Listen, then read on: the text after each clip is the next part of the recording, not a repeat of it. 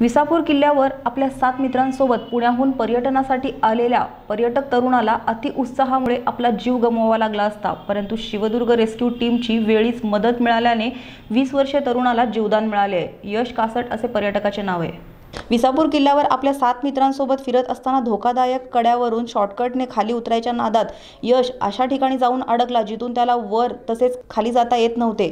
अतिउत्साहीपणामुळे केलेला स्टंट हा जीवावर बेतणार हे लक्षात आल्यावर यशने मदतीसाठी आरडाओरडा सुरू केली. त्याचबरोबर आलेल्या इतर मित्रांनी पाटस गावातील ग्रामस्थांच्या मदतीने कड्यावरून यशला सुखरूप बाहेर काढण्यासाठी अनेक प्रयत्न केले परंतु निष्फळ ठरले.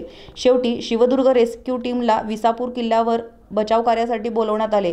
क्षणाचाही विलंब न करता रोहित वर्तक योगेश उमरे हे हे हार्निस बांधून सर्व साहित्य सोबत घेत कड्यावरून मार्ग काढत खाली उतरले. तसंच अडकून पडलेल्या यश याच्यापर्यंत पोहोचले त्याला दोरीमध्ये हार्निसने लॉक करून सुरक्षितरित्या रेस्क्यू केलं.